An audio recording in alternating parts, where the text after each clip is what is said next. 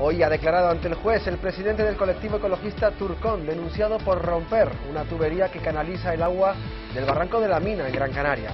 El ecologista asegura que la tubería es ilegal y que la canalización del agua está dejando seco el naciente del Guiniguada. Turcón, en Gran Canaria, ha declarado en los juzgados hoy por haber roto unas tuberías instaladas en el barranco de la mina. Los propietarios de esa infraestructura le piden 1.500 euros para restaurar los daños. Los ecologistas aseguran que esas tuberías son ilegales y que por su culpa el cauce del barranco está actualmente seco. Barranco de la Mina, cabecera del Guiniguada, Gran Canaria. En 2015 el colectivo ecologista Turcón visitaba este entorno natural cuyo cauce había sido canalizado. Las cascadas estaban secas y el agua pasaba por estas tuberías. Los ecologistas denunciaron el caso porque las tuberías, según informes del Consejo Insular de Aguas, son ilegales. Entonces decidieron romperlas. Eh, los molinos de la cumbre y con masas destruyeron la infraestructura construida para canalizarla.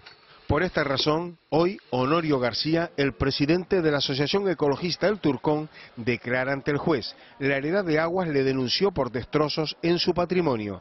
Esa tubería es ilegal. Tenemos informe que vamos a presentar al, al, juez. Le piden 1.500 euros para reparar los daños causados, pero el colectivo insiste en que esas tuberías son ilegales y están a la espera de la resolución de su denuncia. Lo que no comprendemos es cómo la, justicia, la administración, se actúe primeramente en un tiempo récord contra el colectivo Turcón que se ha hecho responsable de los actos. Mientras tanto, dicen, el cauce del barranco de la mina sigue seco.